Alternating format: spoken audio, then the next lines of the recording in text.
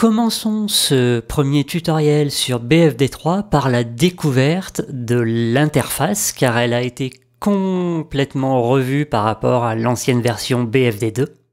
Tout en haut, nous avons la première barre où nous aurons, nous le verrons dans détail, hein, des menus, le menu File, le menu Tools, le menu Help. Nous avons ici un écran avec euh, des indications euh, bien de presets et de kits en cours, là, d'écoute, d'audio streaming, Ici, euh, des fonctions de lecture, bouclage, métronome. Un second écran avec euh, des renseignements euh, également cette fenêtre de droite en ne sélectionnant aucun des deux.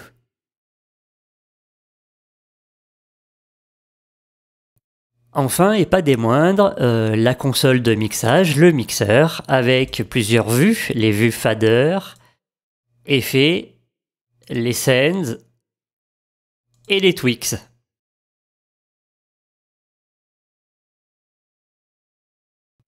Là aussi, beaucoup euh, d'options s'offrent à nous et euh, tout au long des tutoriels sur BFD3, nous verrons tous ces éléments dans le détail car il y a vraiment beaucoup beaucoup de choses à voir.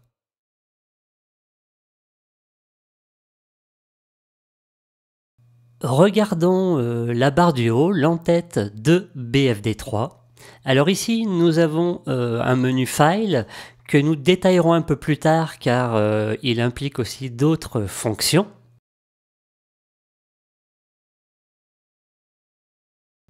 Pareil pour le menu Tools où nous verrons complètement les préférences, les setup locations, etc.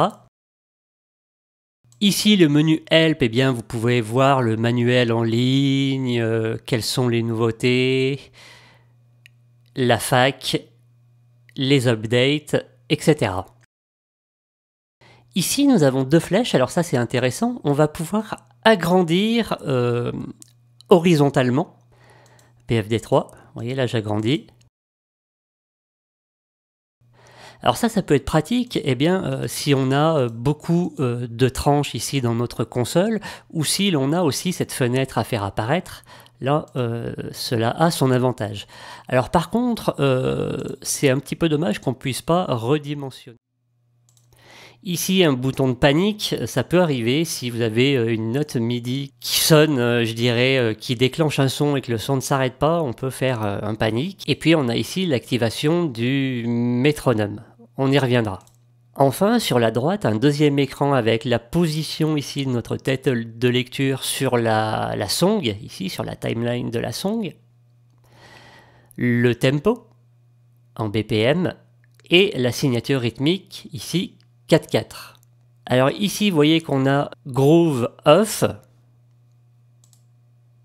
c'est-à-dire que euh, mon groove est inactif Là, j'ai beau lancer play. Ça, ça servira par exemple si on utilise BFD3 dans un séquenceur, on pourra faire glisser, déposer des patterns et euh, ne pas avoir la lecture euh, bien dans BFD3, mais plutôt dans son séquenceur. Le mode play track, donc là qui va lire la song avec les différents patterns, ça on y reviendra dans le détail, hein. et le mode palette qui euh, lira uniquement les grooves qui sont ici sur la droite. Enfin, on a un gain qui est le volume général de votre euh, batterie.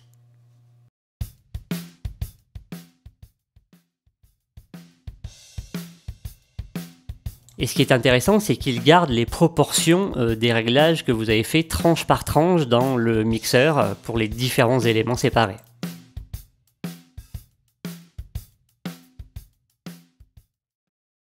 Parlons des presets et des options euh, qui sont mises à notre disposition. Alors pour charger un preset, soit on double-clique. Alors on a ce message qui euh, demande si on veut eh bien, charger le nouveau preset à la place de celui actuellement chargé sans sauvegarder les changements. Donc c'est un message de sécurité. Si je clique sur OK, bien, par défaut, Global, Groove, Mix et Kit sont sélectionnés. Ça, c'était pour l'onglet Preset. Maintenant, si je vais dans l'onglet Kit, eh bien, j'ai exactement le même euh, principe, sauf que ce ne sont que des kits, il n'y a pas de groove. Et je peux euh, eh bien, euh, conserver les tweaks ou pas, les slots ou pas, et les réglages du mixeur ou pas. Bonjour à tous, je suis très heureux de vous retrouver pour la deuxième partie du tutoriel sur BFD3 de FX Pension. Nous allons continuer euh, d'explorer ce formidable logiciel dédié complètement à la batterie. Pour commencer, j'aimerais attirer euh, votre attention sur des réglages qui me semblent importants notamment au niveau de la gestion de la mémoire. Alors vous voyez ici, euh, je suis sur Dashboard, hein, on, clique sur Dashboard, on a des informations, et notamment des informations sur la mémoire utilisée. Donc ici, 600 euh, mégas sur les 999,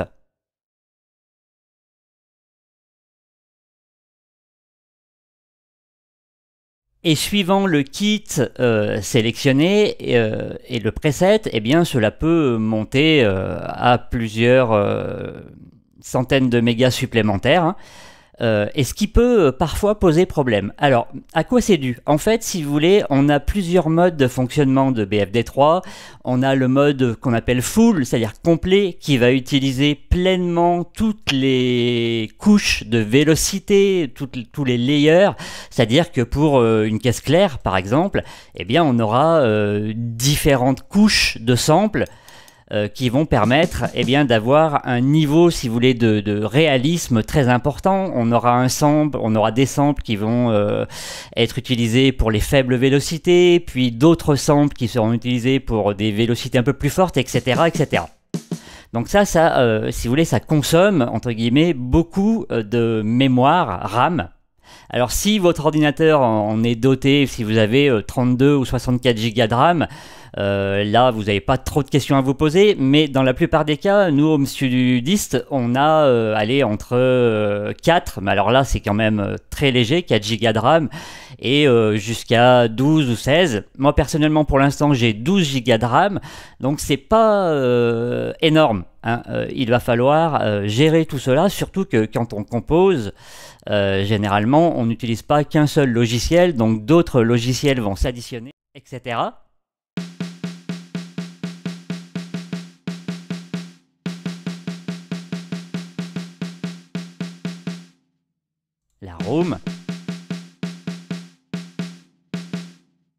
Ambiance. Donc là.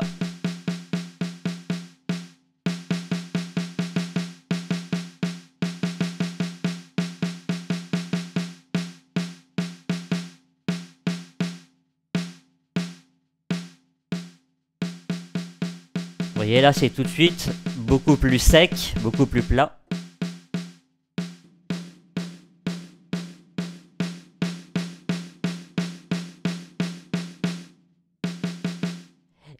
Euh, cette fenêtre-là, ce qui est intéressant, c'est qu'on la retrouve vraiment pour chacun des éléments. Alors si je passe sur mon kick, je vais retrouver vraiment les mêmes euh, paramètres, sauf que bien sûr, pour le bleed ici, eh bien je n'ai plus euh, le bleed du kick, car je joue le kick.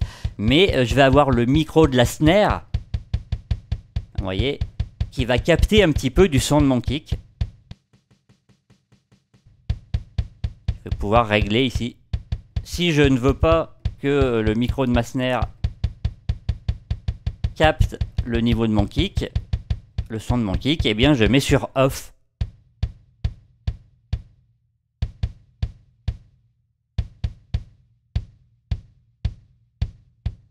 Pareil, si je veux éviter la captation des micros d'ambiance, ou au contraire, avoir pleinement cette captation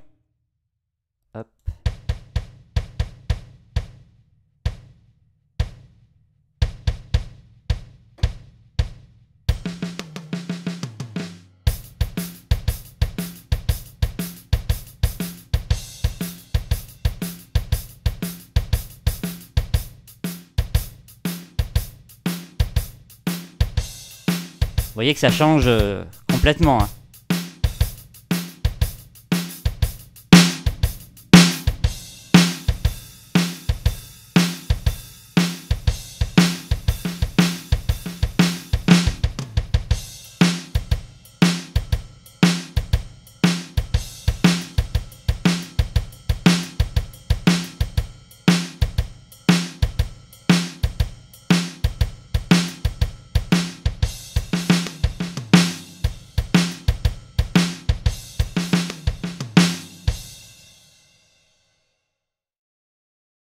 Revenons dans les presets et chargeons celui-ci.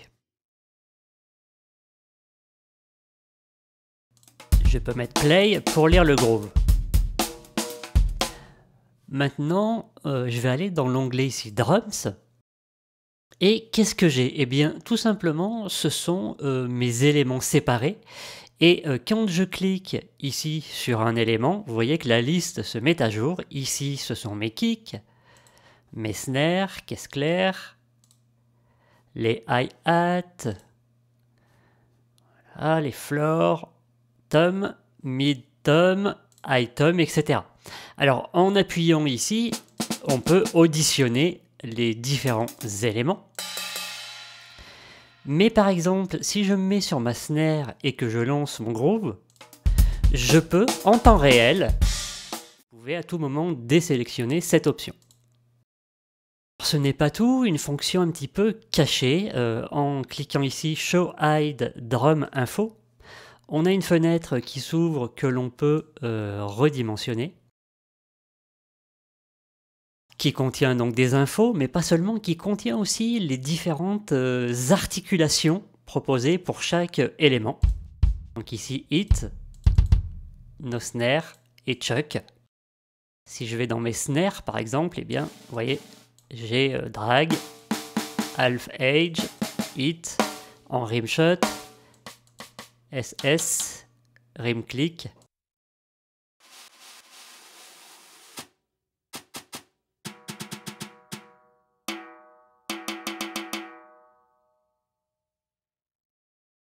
Et à tout moment, on peut recliquer ici pour cacher cette fenêtre. À droite euh, de la fenêtre Tech, nous avons la fenêtre Modèle, si vous voulez, qui va faire suite à cette fenêtre. Donc c'est un choix par élément. Je suis euh, ici toujours sur ma snare, caisse claire. Et je vais avoir ici un réglage de damping qui est de l'absorption, si vous voulez. Donc là, j'ai un maximum d'absorption. Vous voyez que ma snare euh, sonne vraiment très absorbée ou au contraire avec toutes les résonances de la caisse claire. On peut régler la fréquence de ce damping, de cette absorption, ainsi qu'un ratio euh, du micro-ambiance. Donc là, vous voyez, c'est très sec.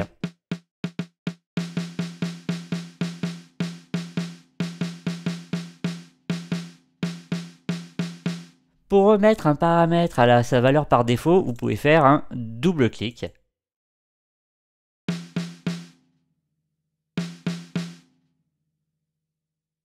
L'onglet suivant euh, est un onglet aussi également intéressant. Alors,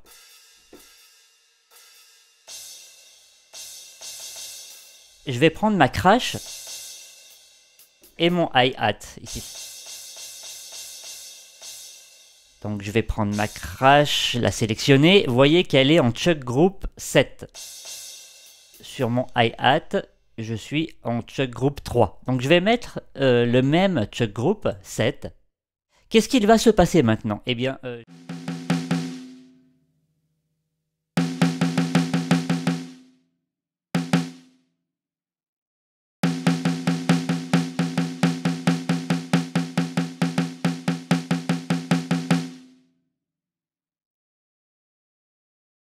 intéressant également. Et bien sûr, vous pouvez euh, faire vraiment vos réglages euh, sur euh, chacune des articulations. Hein.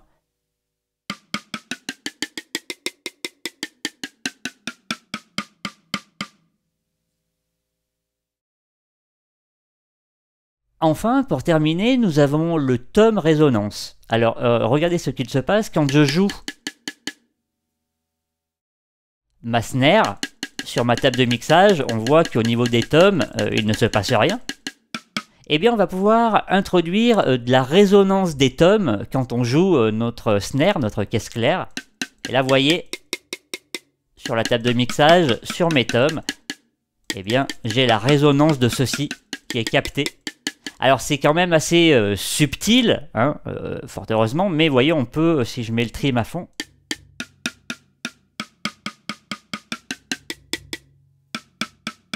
on l'entend quand même un petit peu.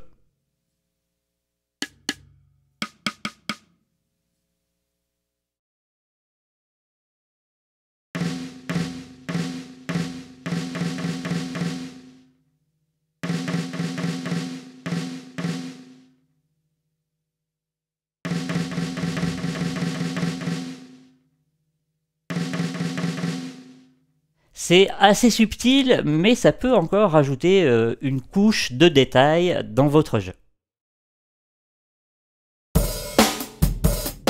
J'aimerais maintenant vous faire un aperçu des effets fournis avec BFD3, et ils sont nombreux et de très bonne qualité. Pour ce faire, on va se rendre dans la rubrique Effect, et vous voyez que nous avons différents effets, différents emplacements d'effets, et ceci euh, par élément. Ça aussi c'est important. Hein. Ici on a nos effets sur le kick, ici sur la snare, les hi-hat, les toms, etc. On a notre chaîne euh, d'effets ici et on peut désactiver euh, en un clic nos effets. Ensuite, on a une indication de la chaîne d'effets, un EQ, un compresseur, et puis ensuite, on n'a plus d'autres effets. Alors sachez que l'on peut euh, choisir un effet et le déplacer dans notre chaîne, mettre le compresseur avant l'EQ, par exemple. On peut activer, désactiver chacun des effets séparément.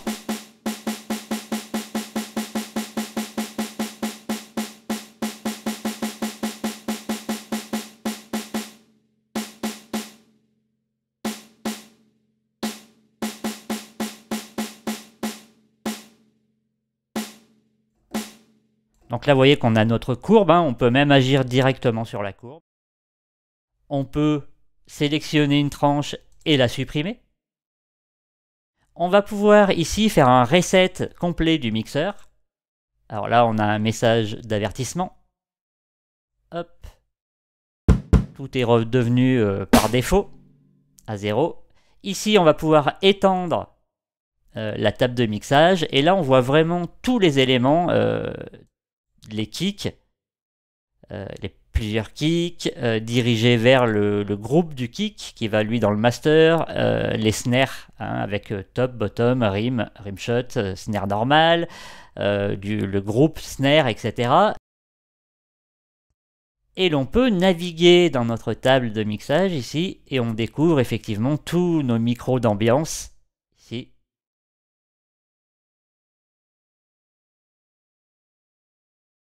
on peut à tout moment contracter notre euh, table de mixage. Ici, on a un bouton global euh, du mixeur euh, pour switcher au niveau des effets. Ici, j'ai un indicateur eh bien, de mes, mises en solo, des tranches. Alors quand j'ai beaucoup de tranches, plutôt que de scroller pour me rendre sur la, piste master, par exemple, eh bien, je peux cliquer sur mini mixeur et là, j'ai ma tranche euh, mixeur toujours accessible sur la droite, quel que soit l'endroit où je me trouve sur ma table de mixage.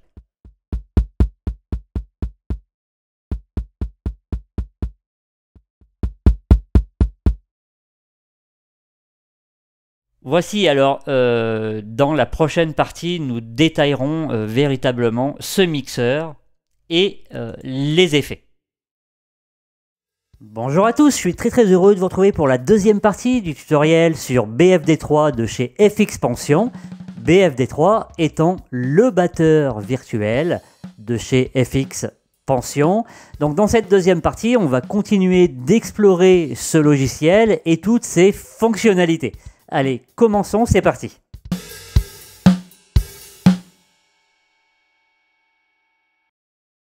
Il y a pas mal de choses que je ne vous ai pas montré encore, et notamment comment importer ses propres samples. Car oui, on peut très bien importer ses propres samples et se constituer des librairies de drums. Alors, euh, ça peut être des samples euh, d'autres instruments virtuels, d'autres batteurs virtuels, pourquoi pas, mais aussi des samples euh, de vraies batteries, des samples de voix, de guitare, de basse, de ce que vous voulez.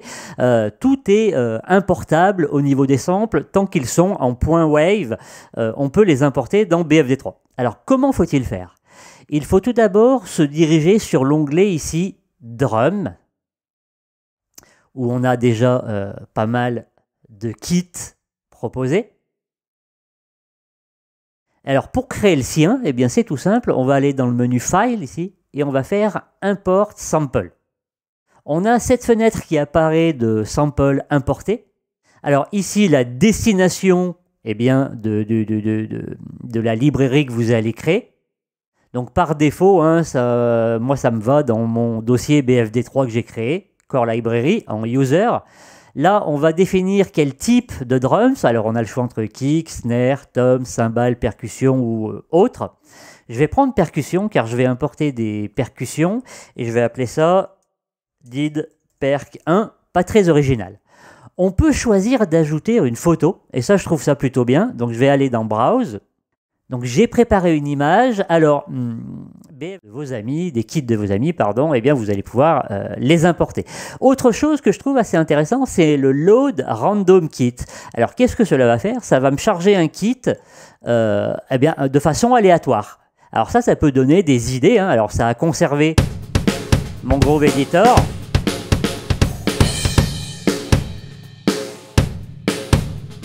Alors finalement, euh, je me dis, ouais, c'est super sympa, sauf que le kick euh, me plaît pas trop. Eh bien, euh, je vais venir ici et puis je vais charger, par exemple, le, kick qui, que j'aime plus, on va dire, et qui sera chargé ici. Par exemple.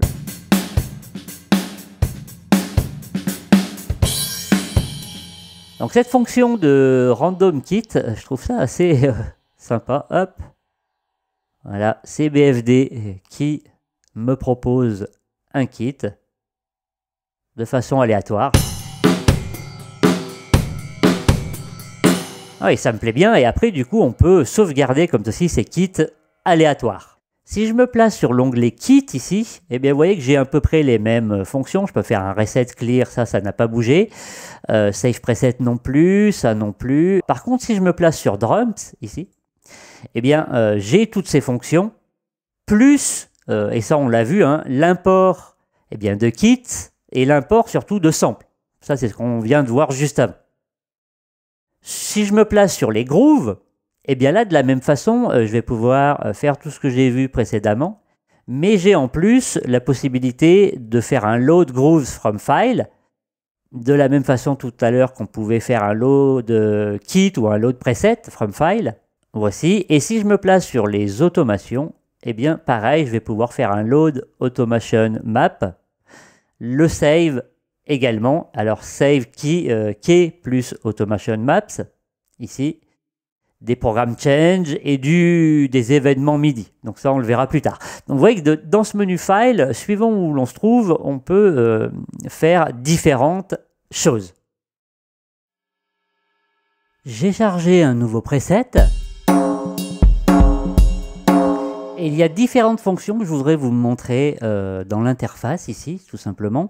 Euh, ce que l'on peut faire déjà euh, avec la main, vous voyez, on peut naviguer en haut et en bas. Alors en bas, il n'y a rien, donc c'est pas forcément judicieux. Par contre, en haut, vous voyez qu'on a nos micros, ça j'en avais déjà parlé, d'overhead, d'ambiance, de room. et ce qui est important, vous voyez, c'est ces lignes bleues. C'est-à-dire que si je choisis, par exemple, ma snare ici, vous voyez qu'elle est connectée avec cette signalétique de flèche. Si je choisis euh, ma charlet, ici, voilà, euh, mes cymbales, ici, ici, ici, donc c'est connecté Et ça, c'est parce qu'on est ici en mode select. Alors, je dirais que ça fonctionne aussi euh, en sens inverse, c'est-à-dire si je sélectionne une tranche ici, vous voyez qu'elle est connectée ici. De plus, vous voyez des informations ici, alors comme le nom, euh, le brand, le modèle, le slot, la classe, la date, le, la size, etc. Ça, c'est grâce au i ici, information. Donc, je peux choisir de désélectionner ces informations. Là, elles n'apparaissent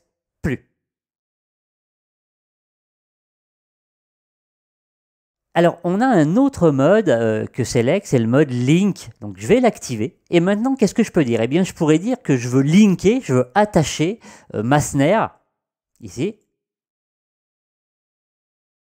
avec euh, mon tom, mon floor tom. Alors, comment je fais? Je clique gauche et je fais un glisser comme ça déposé. Et maintenant, quand je vais jouer euh. Pendant que j'y suis, du coup, euh, si on est euh, dans le mixeur, dans la table de mixage, on a aussi le clic droit. Et on va retrouver, vous voyez, à partir du menu drum ici, bien tout ce qu'on vient de voir, plus bien sûr d'autres fonctions qui sont propres au channel, au canot et à la table de mixage. Enfin, dernière icône qui est ici, qui permet de visualiser eh bien, ce qui est utilisé alors déjà mon kit il fait en tout, c'est le chiffre du haut, 277 mégas et moi j'utilise 81 mégas. Alors je vais vous montrer ça en chargeant euh, un autre preset. Voici tous mes éléments sont chargés, donc ça fait au total 1814 euh, mégas, 1 giga 8 et là j'utilise que 105 mégas. Et du coup, en cliquant sur les différents éléments, vous voyez que je peux voir euh, la portion de mémoire que chaque élément occupe.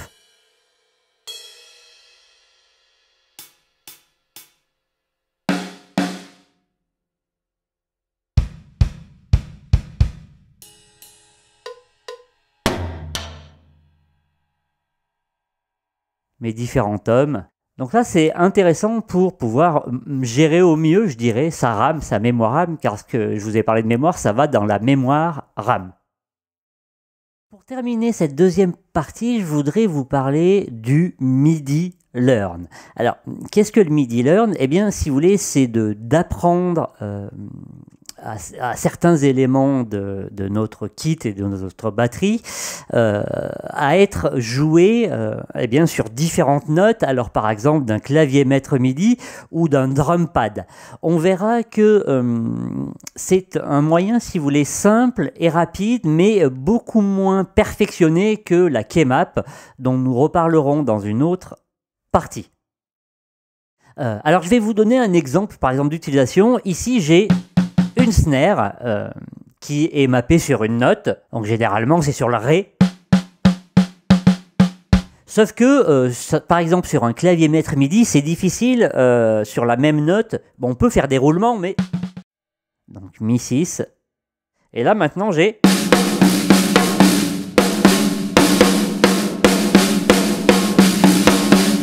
Plus ma première snare.